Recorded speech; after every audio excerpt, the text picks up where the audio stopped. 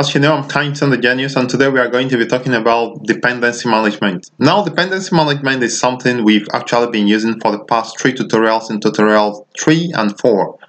So, it's a concept you just need to know, and this will be a very brief tutorial. Before I continue, I'd like to remind you to subscribe to my channel so that you kind of encourage me to continue making these lessons, and also you get notified when I make new lessons. And also, if you have some questions or comments or some challenges on programming, let me know by leaving a comment below. So just subscribe by clicking on the red button below.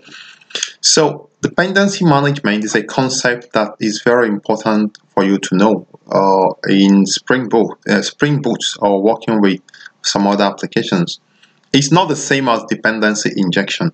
Now this is my website where I explained it and says that Dependency management is a mechanism for centralizing dependency information. So basically, when you are working with a new application, this application actually have uh, libraries that it needs to work with. For instance, you want to connect to a database. The, the library that enables you to connect to a database uh, have to be added to your project class path. Or you want to maybe um, perform some other action. Maybe you want to to do some uh, some other uh, like maybe displaying data on a user interface. So you may have libraries to be able to do that. So all these libraries there are actually so many of them. You need to manage them in a centralized fashion. So that is what dependency management is all about theoretically. Let's now go to practically to see exactly how dependency management works so this is where we stopped in our previous uh, tutorial. Now let's first go to the pom.xml. pom.xml means uh, project object uh, project project object module. Yeah, pom.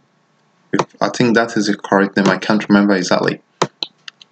So remember that when we wanted to work with um, MVC, for instance, you wanted to use a REST controller, wanted to be able to call or access a method from the browser, from HTTP uh, browser, we needed to add these dependencies. For instance, uh, Spring Web MVC, we added it. We also have Spring Boot Starter Web. Alright, so these are actually dependencies and in your pom.xml you can see that there are uh, they are inside the dependencies like dependencies uh, section. Now, when you want to start an application and you say new, for instance, you say new and you choose new, you see a number of things and we have you can use a Spring Startup project. You can also use other ones. So for instance, if you are using Spring Startup project, which is what we actually did, there are some dependencies that are added for you. So let's take for instance in our application if you go to this place you can see uh, Maven dependencies. These dependencies were added for us. So if you open it you could see that there are a whole lot of jar files that are in there right so there are a whole lot of them that have been added for you but you can actually add these files yourself. You can download these files one by one and actually load them up into your project. For instance, if you go to build path, let me just show you that you can add these files uh, e easily. Not easily, but you can add them if you want. So you can actually say add external jars and choose wherever your jar files is. For instance, we have some jar files here that inside the Apache Tomcat. You can add them yourself.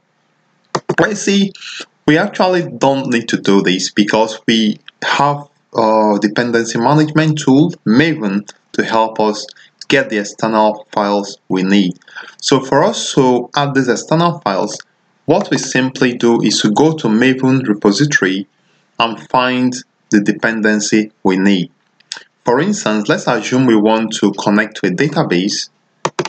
So we can actually go to Maven repository, Maven Central repository, that is the name. And now if you want a dependency to enable you connect to a database, maybe Tomcat or any other one, so you can see uh, different types of uh, dependency you uh, uh, Tomcat dependency. So if you want to use any of them, just open it and choose the version and you simply copy it and go to your dependencies section in your pom.xml and you can easily add it there and it's there.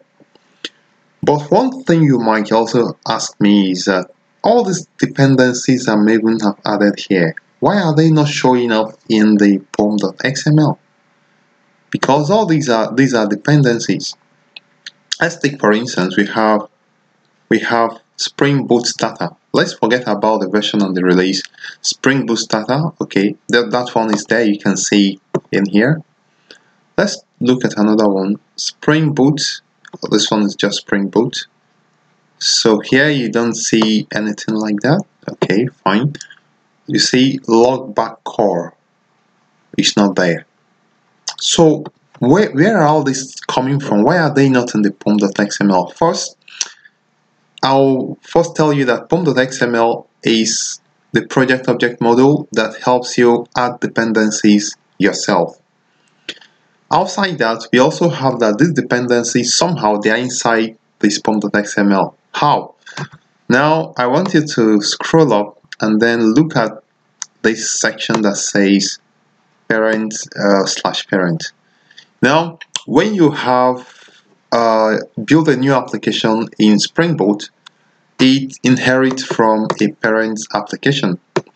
And what it means is that this parent application already have uh, libraries or dependencies added to this parent uh, uh, this parent project. And what it means is that our application is inheriting from this parent and it means that all the dependencies that have been specified in this parent are, are loaded into our project automatically immediately we start. So in that way, we don't need to list all of them uh, one by one in this uh, pom.xml because we already have it specified in this parent, in this parent slash parent tag. So that is one way uh, dependency is managed. So as I mentioned before, this is a concept you need to know and it's something you also might encounter in quiz and things like that. So that is basically how it works and also take some time to read my website This is a simple explanation of what dependency management is all about what dependencies are all about and also I talked about the Maven Central Repository. I would like to thank you for viewing. Remember to subscribe if you've not subscribed and also uh, leave a comment to let me know if this has been informative for you. Thank you.